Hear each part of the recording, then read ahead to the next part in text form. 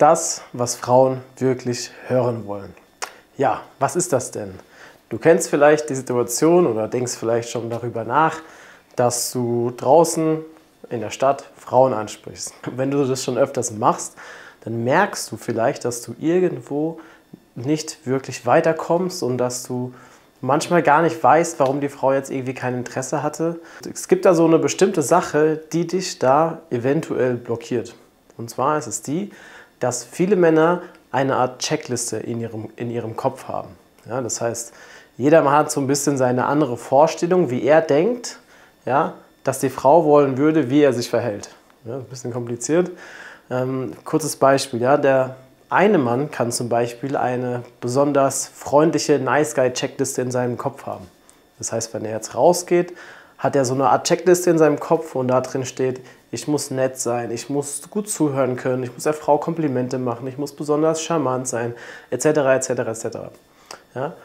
Und danach verhält er sich dann im Gespräch. Ja, das heißt, er hat so einen bestimmten Filter, nachdem er dann ja, sich in diesem Gespräch verhält. Ja, das ist aber anders, als wenn er sich zum Beispiel mit seinem Kumpel trifft. Da ist er ganz normal, da ist er ganz natürlich. Aber wenn er dann eine Frau in der Stadt anspricht, dann auf einmal operiert er nach dieser Checkliste.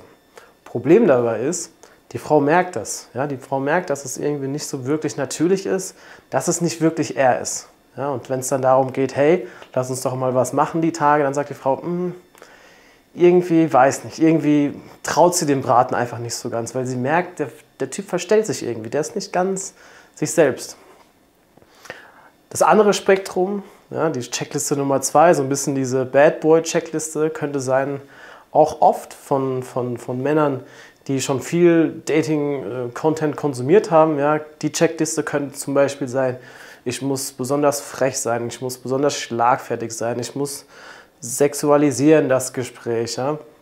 Und wenn er dann die Checkliste hat, kann es sein, dass er einfach viel zu viel, zu hart, zu offensiv dann am Flirten ist in dem Gespräch. Klar, macht Spaß, ja, mal witzig, mal frech zu sein, mal schlagfertig zu sein, aber wenn er das dann nur macht und die Frau merkt auch, dass es irgendwie der, der Typ sich zu, zu sehr anstrengt. Ja, ich meine, der macht zwar gute Sachen an sich, ja, das heißt mal necken, mal flirten, aber wenn es dann Ganze, das Ganze zu viel wird, dann merkt die Frau, hey, der strengt sich irgendwie zu sehr jetzt hier an, der ist irgendwie nicht so natürlich. Irgendwas passt da nicht, irgendwas stimmt da nicht. Ne, und auch da, wenn es dann ans Treffen geht, dann hm, lieber nicht. Ja, so, was ist denn jetzt die Lösung des Ganzen? Die Lösung ist, Du musst die Checklisten, die du in deinem Kopf hast, von denen du denkst, dass eine Frau wollen würde, wie du dich verhalten sollst, komplett löschen. Ja, diese Checklisten musst du im Prinzip verbrennen, verbannen aus deinem Kopf. Ja, was sollst du denn stattdessen machen?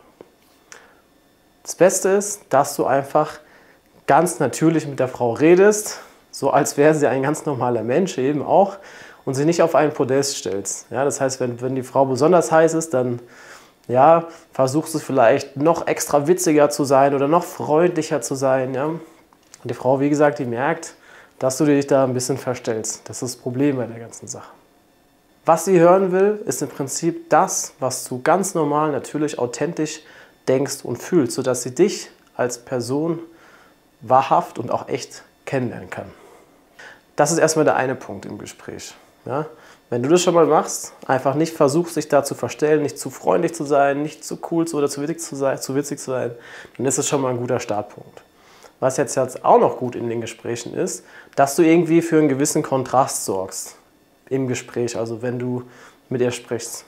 Ja, das kann zum Beispiel sein, äh, ich nenne dir mal ein Negativbeispiel, wenn du jetzt zum Beispiel besonders erfolgreich bist und du sagst, ja, ich bin besonders erfolgreich, ähm, ich verdiene viel Geld, ich bin super im Netzwerken und es ist alles positiv und positiv und positiv, dann denkt man sich so, hm, ja, das ist schön für dich, aber irgendwie kannst, kann man es noch nicht so ganz relaten, ist noch nicht so ganz greifbar.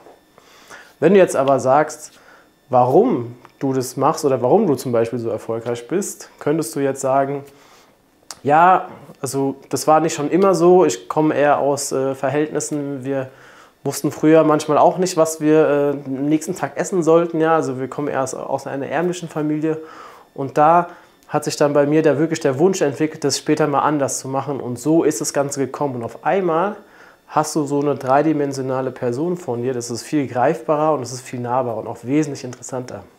Das heißt, wenn du erzählst, sorge immer für einen gewissen Kontrast.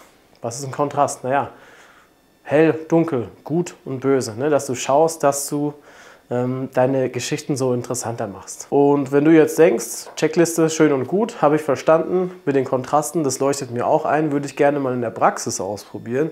Das heißt, du würdest gerne mal Frauen ansprechen in der Stadt, du traust dich aber aktuell noch nicht, kannst dich einfach nicht überwinden, dann empfehle ich dir, bewerb dich mal auf ein kostenloses Erstgespräch mit mir, da schauen wir ganz genau, wo es bei dir hakt, damit wir langfristig dein Liebesleben auf Vordermann bringen damit du auch wirklich die Partnerin findest, die wirklich zu dir passt.